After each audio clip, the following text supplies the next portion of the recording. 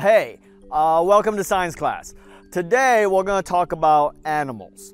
And I know you kids all like the fancy animals, okay? But stop being so thirsty for hippos. Because unless you're a Colombian drug lord, you're never gonna own one, okay? Instead, today we're gonna talk about the animals you'll actually encounter.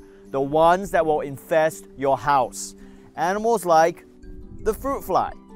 This is a mild infestation. As far as insects go, fruit flies are pretty chill. They're like most Brooklyn hipsters. Very picky eaters and they have zero upper body strength. Also, they do it doggy style. Who knew? anyway, uh, getting rid of them is pretty straightforward. Just stop leaving piles of rotting fruit lying around. Duh! A worse infestation is bed bugs. Much like Armie Hammer, they feed on human blood. Getting rid of bed bugs is almost impossible. So if you get them, the best solution is to just leave. Walk out the door, start a new life. Like Miley Cyrus. People think Hannah Montana was a character, but it was just who she was until she got bed bugs. Next up, ladybugs, or as scientists call them, women bugs. This is maybe the best infestation you can have. They don't really do anything, and for bugs, they look pretty. They're like beetles that just got their nails done. But enough about insects. Let's move on to mammals, specifically mice, the freeloader rodents. And to be clear, not all rodents are freeloaders. Uh, just look at squirrels. They're like small business owners, hustling, out there renting storage lockers for their nuts. But mice just want your food.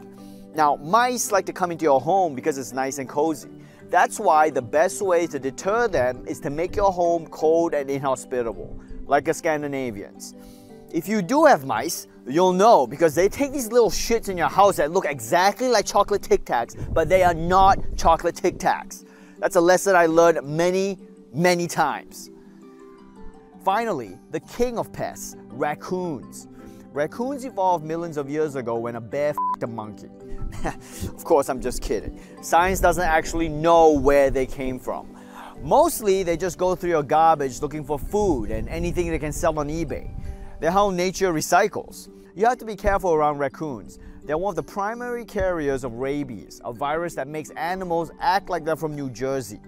If you see a raccoon foaming at the mouth, do not go near it with a calzone. It will fight you for it.